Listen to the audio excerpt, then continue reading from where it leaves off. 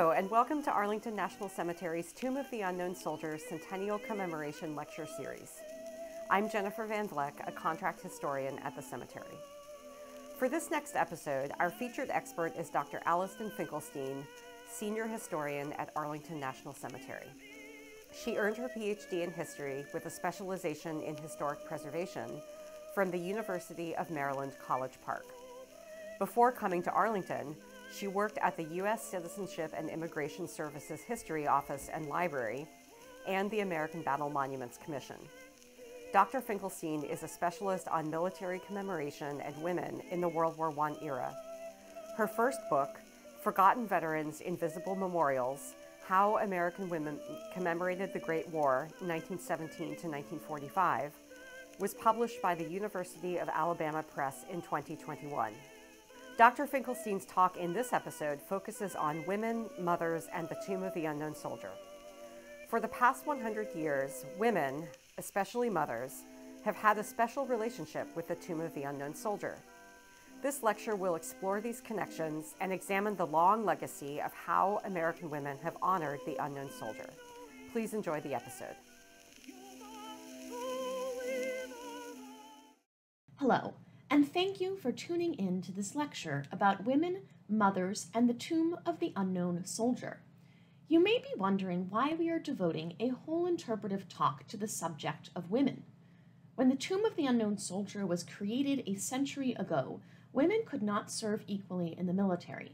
So, what role could they possibly have had in the establishment of this memorial? Through my remarks in this episode, I am going to reveal some of the many ways that American women played a critical role in the creation of the tomb and cemented its legacy throughout its first century. I will share their impact on this site and demonstrate that women have always been key players at the tomb.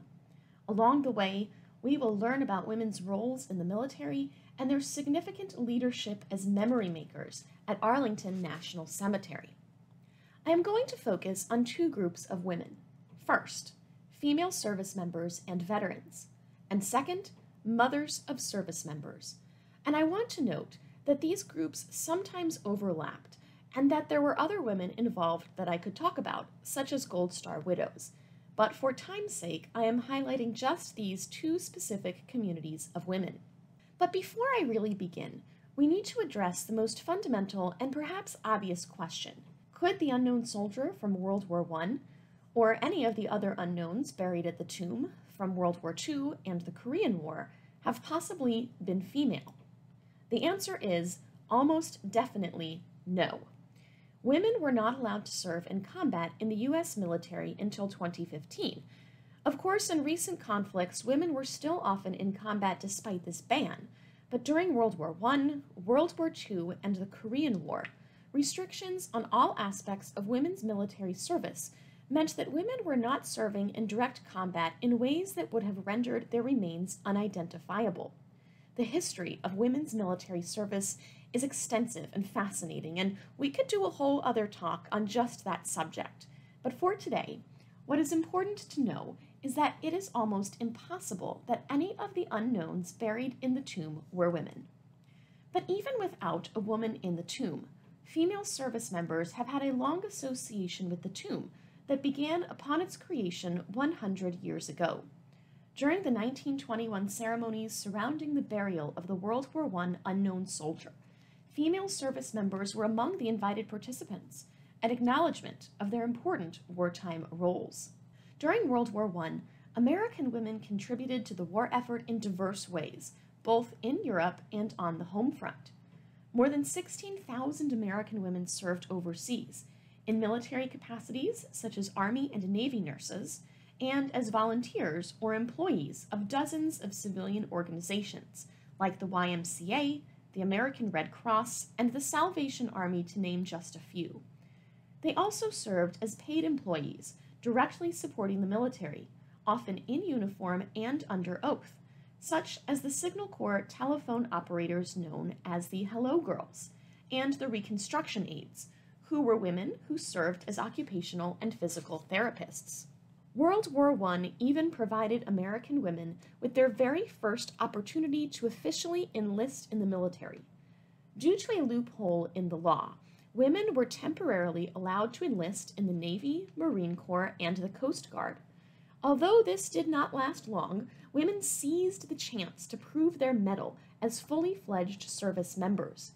And even though many of the other women who served did so outside of the military and were denied government veterans status, they banded together in new organizations and asserted themselves as veterans nonetheless. One of these organizations was the Women's Overseas Service League, composed of women who served overseas during the war in any capacity. This group became the leading advocate for women veterans of all kinds in the post war era. They devoted themselves to memorializing the war through community service projects, and they advocated on behalf of the unrecognized female veterans of the war. The Women's Overseas Service League took seriously the mission of memorializing the war, and they participated in several of the 1921 events for the tomb. They were granted a slot to conduct a brief ceremony as the unknown soldier lay in state in the Capitol Rotunda November 10, 1921.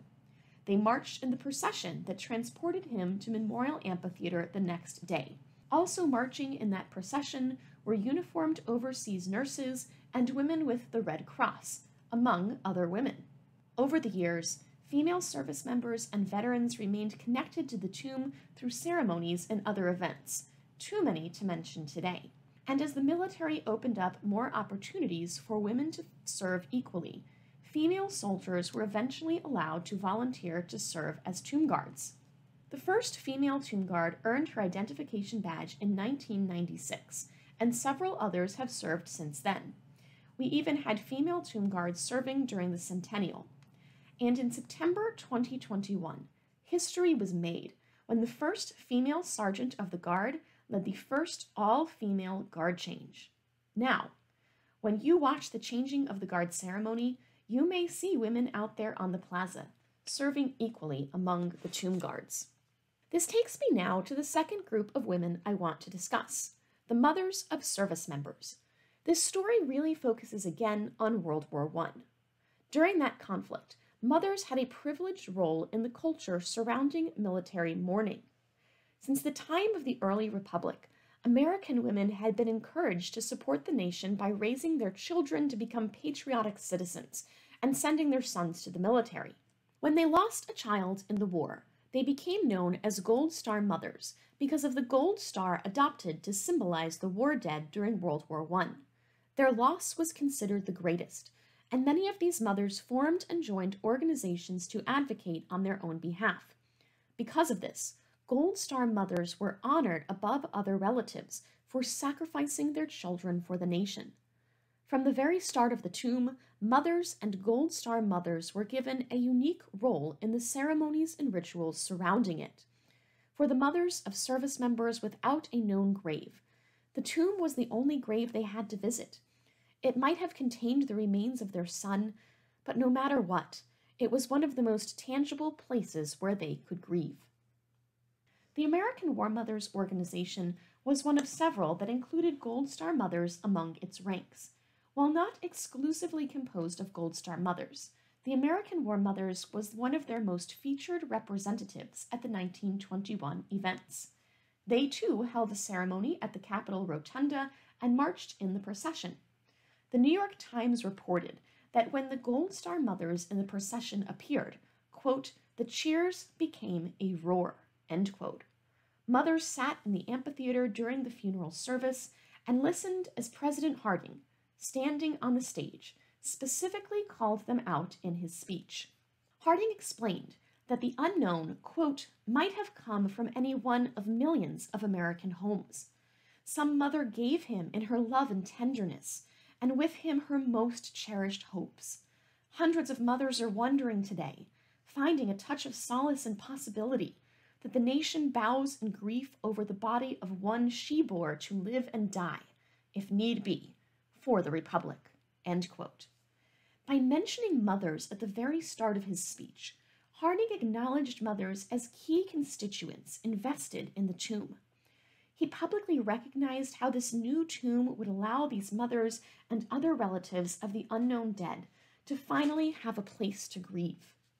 He set the stage for the tomb to become a universal grave for all American service members, a site where anyone could mourn and memorialize a fallen American soldier. At the actual interment of the unknown soldier in the tomb, mothers again played a special part. After the first wreath was laid, two mothers stepped forward Mrs. Emmett R. Digney, a Gold Star mother and president of the American War Mothers, laid a wreath, accompanied by Mrs. Julia McCudden, a British war mother, whose wreath contained flowers from all parts of the British Empire. Standing among the nation's highest elected officials and military leaders, they were included among the chief mourners, recognized as essential to the creation of the tomb and those it memorialized. In the years after 1921, mothers maintained their connection with the tomb. The American War Mothers held annual ceremonies at the tomb each Mother's Day, and Gold Star mothers frequently came to the tomb, both as individuals and in groups. In 1932, a memorial tree was dedicated in honor of the mother of the World War I unknown soldier. It is the earliest known memorial tree in the cemetery. Today, Gold Star mothers continue to conduct ceremonies at the tomb, especially on Gold Star Mother's Day every September. With each subsequent generation of Gold Star mothers, they have maintained their reverence for the tomb. Their unbroken devotion for the tomb is stirring to witness, as I did a few years ago at their annual ceremony. Many of them came to commemorate the centennial of the tomb that remains so significant to them. Since 1921, American women have served as stewards of memory at the tomb of the unknown soldier. They have included female service members, veterans, mothers, widows, and many, many others. Their participation at the tomb attests to women's long standing contributions to the military, whether in uniform or as civilians. As we embark upon the tomb's second century, I am looking forward to seeing the continuation of women's long legacy at the tomb and the new chapters of meaning and ritual they are sure to write.